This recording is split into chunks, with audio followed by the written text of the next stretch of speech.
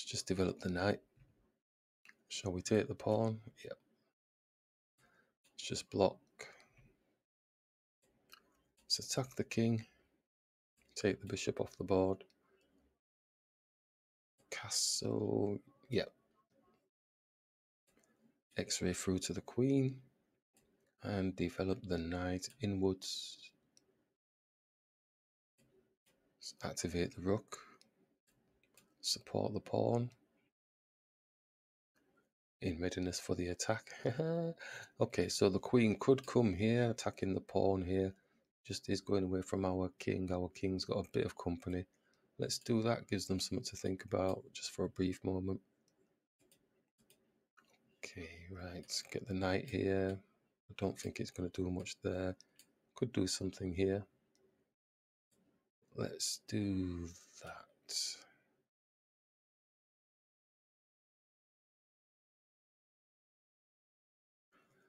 Oh, okay. So he's got things to be sorting out, has he? Right. So we're not going here. Not going here. Oh no, have we trapped our queen? Let's take the queen off the board before we get it trapped up. It's attacking this pawn here. Support with the rook.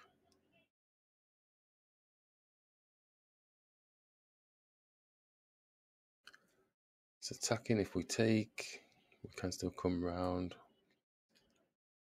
Could come here, come here. Still got space here. Okay, let's do that.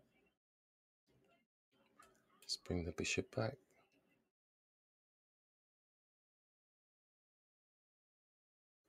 Nice attacking the bishop. What we're missing was planning to come here, but he's got like the two knights, so he's going to be attacking our rook or something with this knight, isn't it?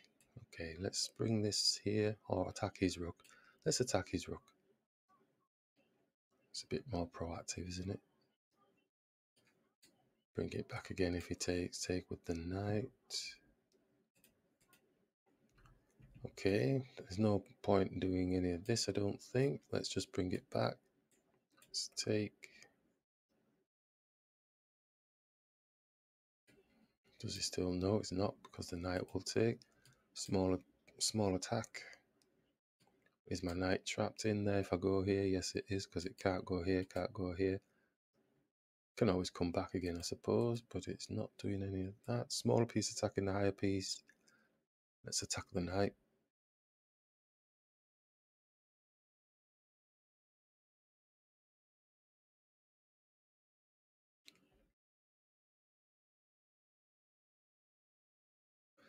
Knight's moved out the way, so the knight, bishop, our knight can move now, actually.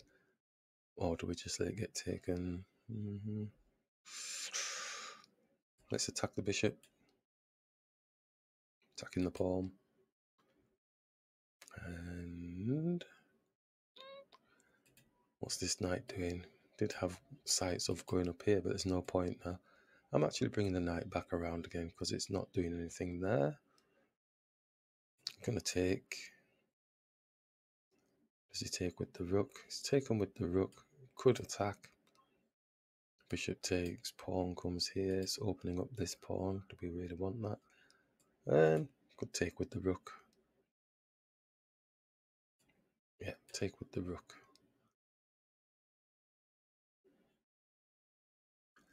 So it looks like I'm jamming myself in a little bit.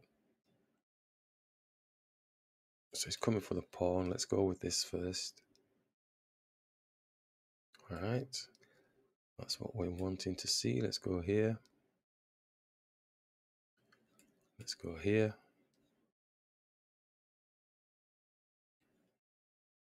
And shall we take?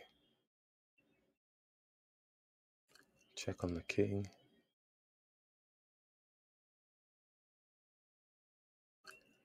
Take the pawn, attack the rook.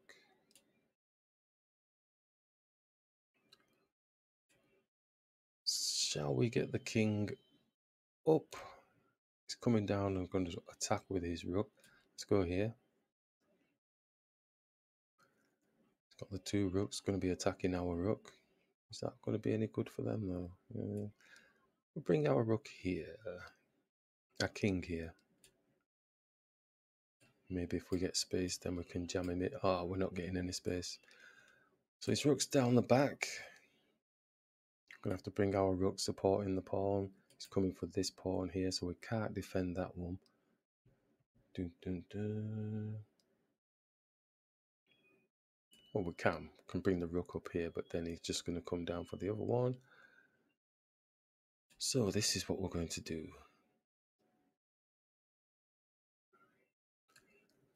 Going to go up.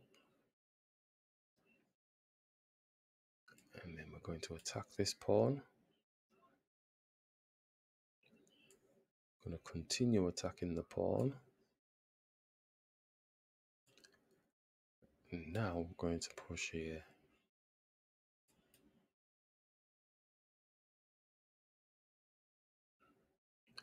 That's his magic square. Because he's hitting that. And also defending here if we do attack. Obviously, oh, let's take. Oh, and they've left the game. Why did they leave the game? It wasn't really losing. Quick analysis check. I'm losing. Minus one. it's amazing how people think, isn't it? He's got a passer here. He's got one, two, three, four. We've got one, two, three, four.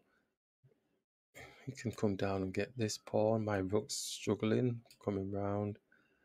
Ah, they had play. Look at that. Anyway, on to the next one.